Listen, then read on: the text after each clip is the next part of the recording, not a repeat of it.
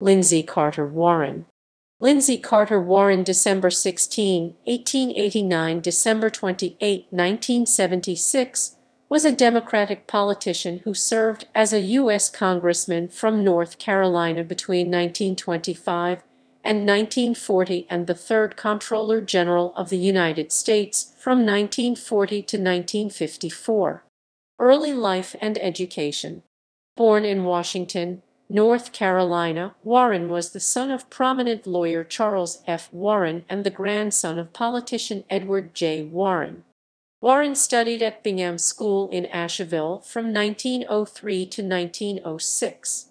He attended the University of North Carolina at Chapel Hill from 1906 to 1908 and then from 1911 to 1912 the second time studying law. He was admitted to the bar in 1912 and practiced law in his hometown of Washington. Political career Also in 1912, Warren was named county attorney for Beaufort County, North Carolina, and elected the chairman of the executive committee for the county Democratic Party. He would hold both posts until 1925.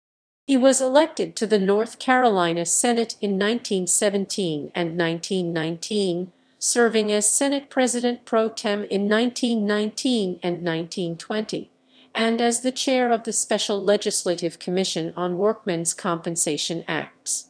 In 1920, Warren succeeded in preventing a Senate vote on ratification of the 19th Amendment, which would guarantee women's suffrage nevertheless, Tennessee ratified the amendment the next day, making the amendment effective throughout the country. In 1923, Warren was sent to the North Carolina House of Representatives for a single term before being elected in 1924 to the 69th United States Congress was re-elected seven times, serving in the U.S. House of Representatives from March 4, 1925 until November 1, 1940, when he resigned from Congress. During the 72nd through 76th Congresses, he was chairman of the Committee on Accounts. He was also a delegate to the Democratic National Conventions in 1932 and 1940 and chaired the North Carolina Democratic Convention in 1930 and 1934. Comptroller General Warren left Congress to accept the post of Comptroller General of the United States, serving in that role for almost 14 years, until May 1, 1954. President Franklin Roosevelt had offered Warren the post in 1936 and in 1938, but he had declined it.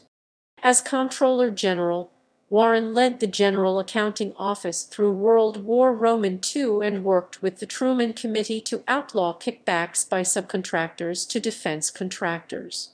He oversaw an increase in the agency's workforce and extensively reorganized GAO. Later life and legacy Warren returned to the North Carolina House of Representatives for two additional terms in 1959 and 1961, and died in 1976 in his hometown of Washington, North Carolina. His son, Lindsay Jr., followed his father into law and into the North Carolina legislature. A two eight mile bridge, one of the longest in North Carolina, was built in 1960 over the Alligator River and is named in honor of Warren. The M/V Lindsay Warren, a 25-car ferry, was also named for him. The 112 Fort vessel was built in 1970 for the North Carolina Department of Transportation Ferry Division to cross Hatteras Inlet between Hatteras and Ocracoke Islands on the Outer Banks of North Carolina. The M/V Lindsay Warren was taken out of service and sold by NCDOT. Now renamed Marisime Nicol, it operates on Mobile Bay.